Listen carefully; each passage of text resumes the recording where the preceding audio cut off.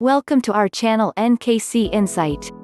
On August 27th observes National Petroleum Day. The day gives the opportunity to focus on ways of conserving petroleum and using it wisely. Petroleum was discovered by Edwin L. Drake on August 27 in 1858 in Titusville, Pennsylvania.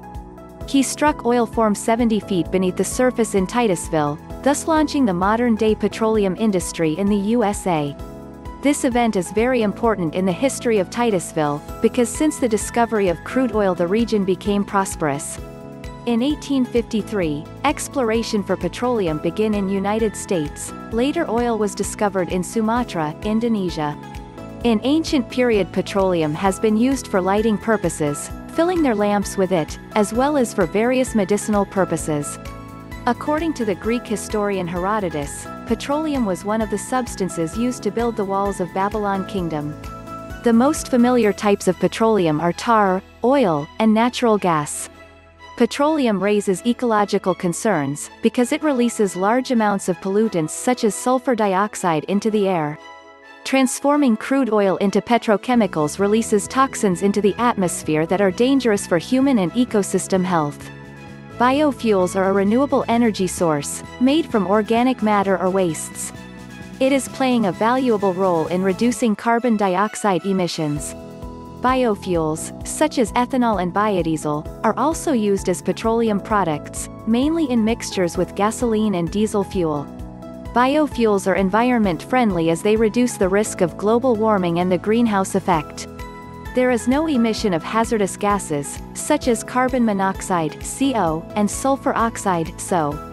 In 2019, U.S. petroleum consumption averaged about 20.64 million barrels per day BD, which included about 1.1 million BD of biofuels.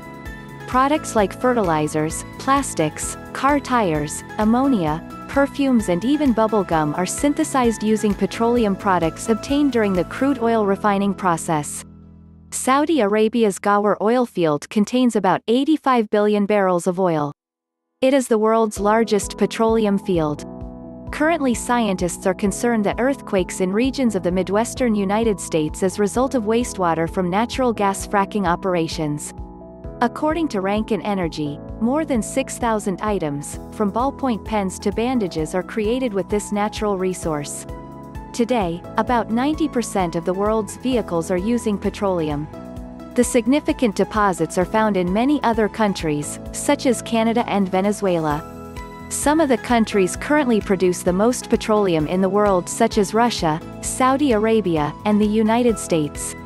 Petroleum is an important part of many human activities but avoid plastics and frozen foods that may have petroleum wax packaging.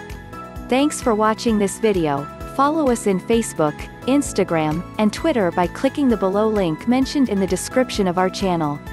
Also subscribe our channel for more videos.